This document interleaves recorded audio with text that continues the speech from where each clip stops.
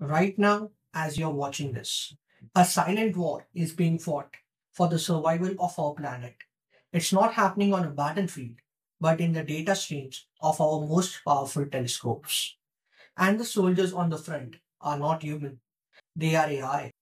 This is the story of how we are teaching machines to become Earth's cosmic shield. In the vast, silent theater of space, a cosmic drama unfolds. Trillions of rocky wanderers, remnants from the birth of our solar system, are on a collision course with destiny. Some are the size of a pebble, others a city, and some have Earth in their sights.